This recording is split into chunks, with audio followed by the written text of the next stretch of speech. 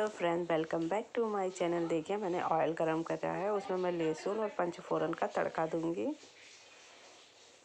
जिसमें सौंफ, जीरा, मेथी और मंगरेल है।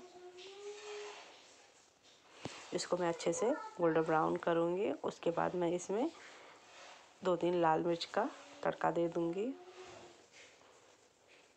इसमें मैं आलू कट करके डाल दूँगी।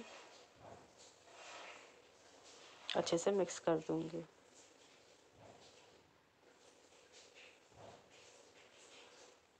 फिर मैं इसको ढक दूँगी।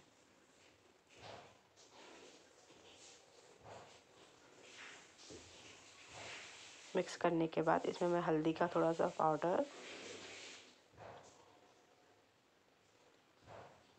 फिर बथुआ कट करके डाल दूँगी। मैंने बथुए को पहले से वॉश करके कट करके रख लिया है। फिर इसको मैं इसके अंदर अच्छे से डाल दूँगी। बथुआ को अच्छे से मिक्स करूँगी मैं। और गैस का फ्लेम मीडियम रखूँगी और इसको अच्छे से मैं मिक्स कर दूँगी।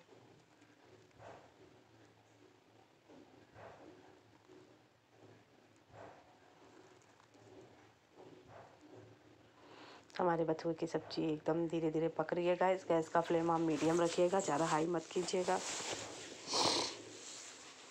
अच्छे से आप मिक्स कर दीजिए। देखिए, इसका पानी धीरे धीरे कम होता जा रहा है।